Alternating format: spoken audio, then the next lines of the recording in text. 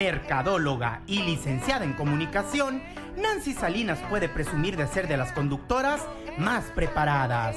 La regiomontana logró poco a poco abrirse camino en el mundo de la comunicación gracias a su esfuerzo. Salinas es de los rostros más conocidos en los chismes del talento de Monterrey, ya que fue parte del concepto Plan B en su época de máximo esplendor. Programas como Déjame que te cuente y Pa' arriba forman parte de su currículum. Madre amorosa y comunicóloga de corazón, hoy en Es en Serio, Nancy Salinas nos hablará más acerca de su paso por la televisión en el segmento de noticias de espectáculos y su gran pasión por la biología marina. Para Es en Serio, Miguel Díaz. Solamente un poco de la extensa trayectoria a su corta edad de Nancy Salinas. Ay, gracias. Y, y sigan opinando con el hashtag Es en serio. Tenemos muchas, muchas preguntas, mucha interacción en el Twitter. Vamos a leer algunos tweets, mi- si te parece bien, mi querido Esteban. Oye, a ver, mira, dice Ramiro Cantú. ¿Conoces a Ramiro Cantú? Claro. No te hagas. Amiguísimo. Nan Salinas, la mejor compañera de mesa en televisión, es en serio invitada de lujo en multimedios con el, mi compadre, el señor Mayagoita, con su servilleta, siempre agradecido con ella. Ay, qué lindo. No, hombre, yo también agradecidísima con Ramiro porque en algún momento de la vida entro a radio gracias a él.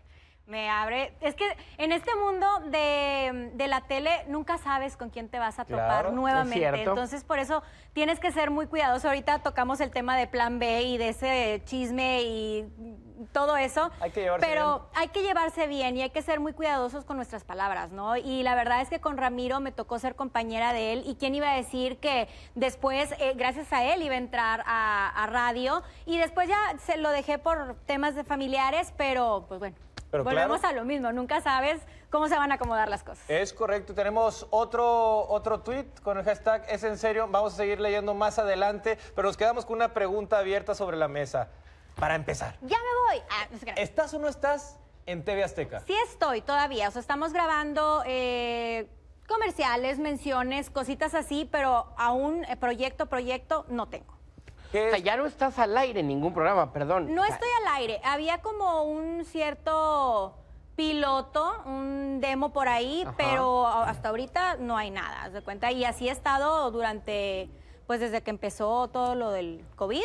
Y a mí se me juntó mi segundo bebé casi con, con esta mega super cuarentena del coronavirus, entonces por eso, pues desaparecí. Ya Se te acomodó. contesté la pregunta, ya me voy. ¿Se, aco- se acomodó? ¿Esa es tu respuesta? ¿Ya no la cambias? no, sí la cambio. Es Ah, que, bueno. o sea, no, no pasa absolutamente nada. Mejor tú pregúntame lo que me quieres preguntar. ¿Sabes qué? ¿Para qué te lo pregunto yo? Vamos con un tweet, sigan opinando con el hashtag Es en serio. Esteban, A ver. Es correcto. Estás hermosa, irradia sencillez. Ay, Mi gracias. pregunta es, ¿tuviste problemas con tu excompañero Miguel Ángel Cantú?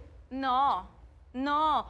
Hay muchos chismes. Es que en las televisoras siempre nos comportamos como familias. Y ya sé que han de estar hasta acá de que todo el mundo les conteste lo mismo, pero es una realidad. O sea, te ves tanto con las personas que de pronto tienes como ciertos roces, o viene una tercera persona y es que me dijeron, o es que eh, no, no sé, o simplemente un día no es tu día y te voltea a ver a alguien feo y, ah, ya te me quedaste viendo feo.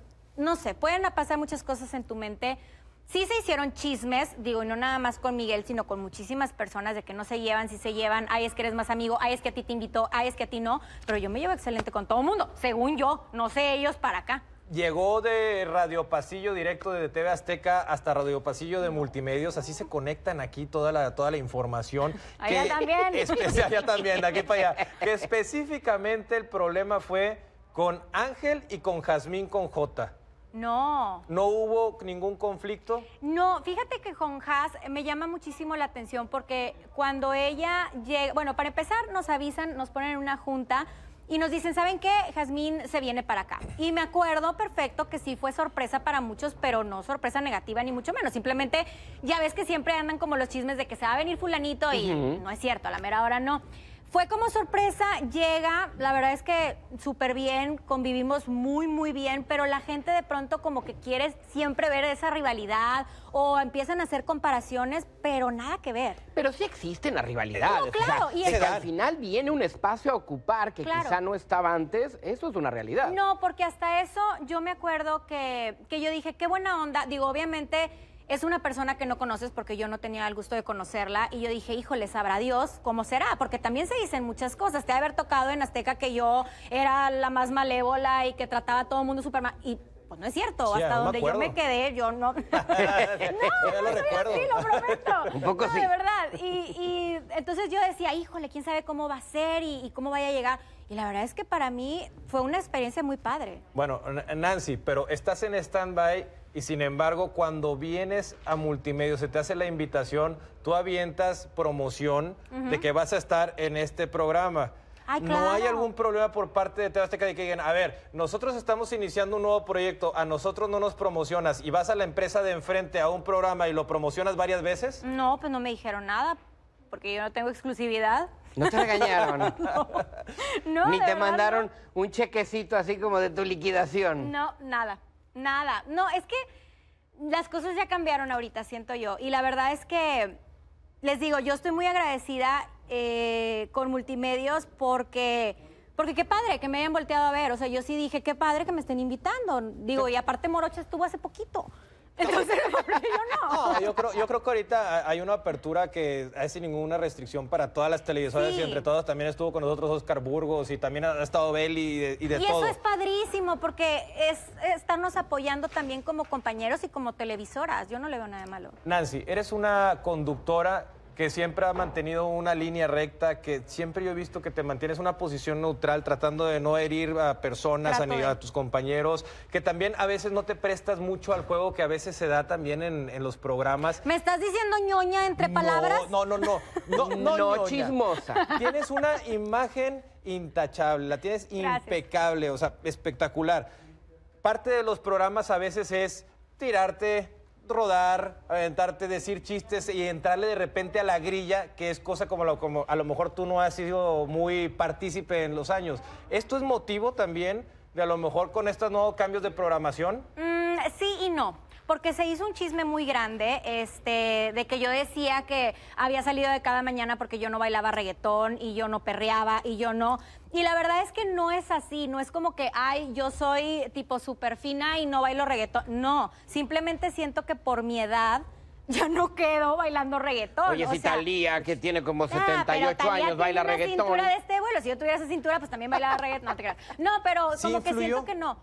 Muy poco, pero no de la forma de ingas ellos que tipo perrean y yo no. No, no fue así. Simplemente yo no me sentía en el mood que estaba agarrando el programa y en ese momento, y hasta ahorita tengo entendido, les va bien. Entonces, yo entiendo perfecto que la tele es de ciclos. Lo entiendo perfecto. Entonces, siento que tal vez ese ¿Pero ciclo pasó. regresarías o no regresarías a ese programa? Si hubiera algo padre, sí, al programa siento que ya no quedo, porque yo no voy a quedar ah, eh, concursando, por ejemplo, en esto de romper globos con el compañero, pues mi esposo me va a decir, pues cómo, ¿verdad? O sea, y yo no lo haría, entonces... ¿Qué tiene? No, pues Yo- no, yo- no, no. Los, Los globos, ya gua- no. guarden los globos. Ay, No va a haber concurso de globos. ¿El de camisetas pero- mojadas tampoco? Ay, No, tú has dicho nada.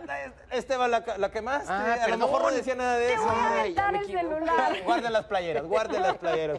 Mi querida Nancy, quédate con nosotros, vamos a seguir.